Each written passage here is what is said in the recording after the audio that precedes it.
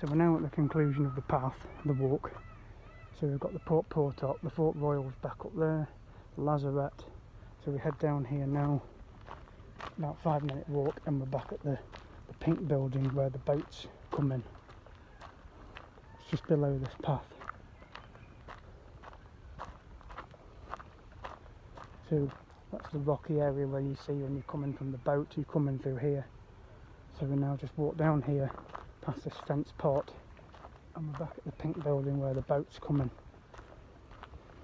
So this is an easier route to go back to the Fort Royal rather than go up that really hellish path. So you've got two options. You can either go up the pathway to paradise as it's called or you can come up this path here and go back that way up the hill, follow it in a straight line until you get to the Lazarette and then go alongside the Lazarette up the hill which is a bit of a steep climb. Then you get to the viewpoint of Dubrovnik so there's the, the pier where you get the boat back to Dubrovnik. Very clear water. So that's the Port Portock and the rocky area the toilets are, etc. So you're back at square one basically now. So you just head down here. Those steps also take you back down. They take you to the rocks. You go along this fence bit and it takes you back to the boat.